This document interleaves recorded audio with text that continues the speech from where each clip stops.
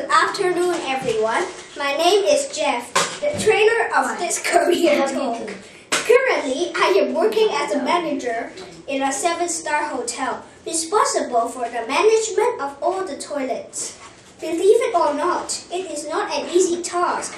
Now let me share with you my daily duties. 1. Keep the toilet clean with the latest advanced technology, hmm. including removing any germs and graffiti. Two, we need to on a nice piece of music in the background to make the people feel good. Three, we need to pick a nice air freshener or perfume to neutralize the smell and refresh our guests. Four, design creative labels and signs to remind people what they should do. As you know, some people do forget to flush the toilet after use, which is not very nice, is it?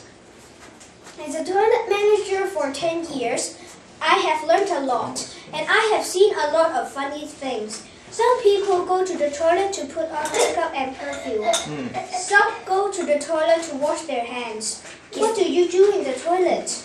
Let's share during the break.